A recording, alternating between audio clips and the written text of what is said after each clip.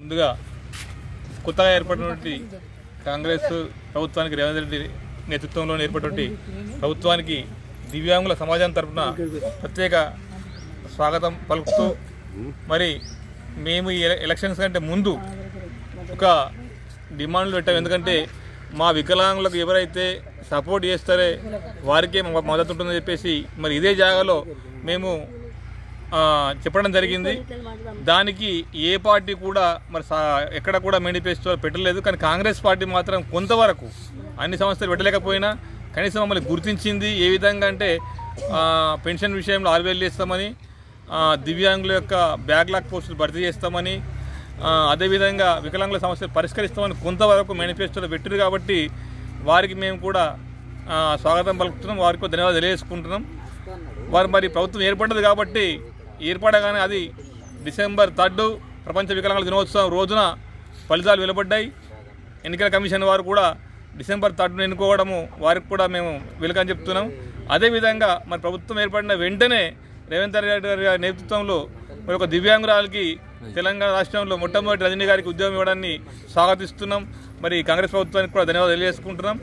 అదేవిధంగా మరి అదే ఉత్సాహంతో అదే విషయాన్ని అదే విధంగా ఈ ప్రభుత్వం ఏదైతే మొట్టమొదటి ఉద్యోగం దివ్యాంగులకు ఇచ్చిందో ఇక ముందు అదే యొక్క సానుభూతిని మా యొక్క హక్కులను సాధించడానికి ప్రభుత్వం సహకరిస్తుందని అన్ని విధాలు మేము ఇలా ప్రభుత్వానికి వినియోగించుకుంటున్నాం. మొదటగా మేము చెప్పేదాలా ఒకటే ఏదైతే టి. అంజయ్య ముఖ్యమంత్రి గారు ఉన్నటువంటి వికలాంగుల సంక్షేమ శాఖను ఈ యొక్క తెలంగాణ రాష్ట్రం ఏర్పడిన తర్వాత మరి కేసీఆర్ గారు ఇది పనికిమాలిన శాఖను తీసేసిండ్రు. ఈ విషయాన్ని నేను చాలాసార్లు చెప్పినాం మేము దివ్యాంగుల తరపున. మరి మళ్ళీ కాంగ్రెస్ ప్రభుత్వం ఏర్పడ్డది కాబట్టి అయ్యా రేవంత్ రెడ్డి గారు మీరు మరి మీ ప్రభుత్వమే ఆ యొక్క శాఖను ఏర్పరిచింది. టి అంజయ్య గారు ముఖ్యమంత్రి ఉన్నప్పుడు శాఖను తిరిగి మీరు ఏర్పాటు చేయాలని చెప్పేసి ప్రధానంగా మేము కోరుకుంటున్నాం.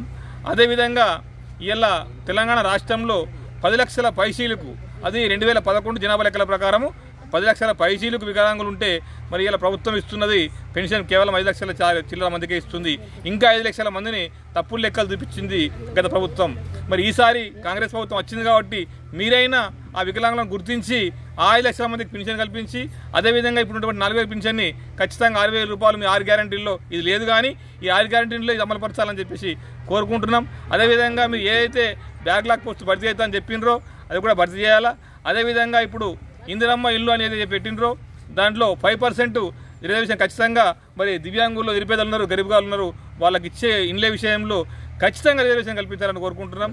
అదేవిధంగా ఈ మహిళలకు ఏదైతే ఉచితంగా బస్సు సౌకర్యం కల్పించారో దాన్ని స్వాగతిస్తూ మరి మా దివ్యాంగులకు కూడా ఇప్పుడు ఫిఫ్టీ పర్సెంట్ రాయితీ ఉంది. ఆ రాయితీని తీసివేసి పూర్తిగా హండ్రెడ్ పర్సెంట్ మాకు ఉచితంగా కల్పించి అది కూడా ఒక పరిమితి లేకుండా అన్ని బస్సులలో కూడా కల్పించాలి దివ్యాంగులకు. ఎందుకంటే దివ్యాంగుల సంఖ్య తక్కువ ఉంటుంది.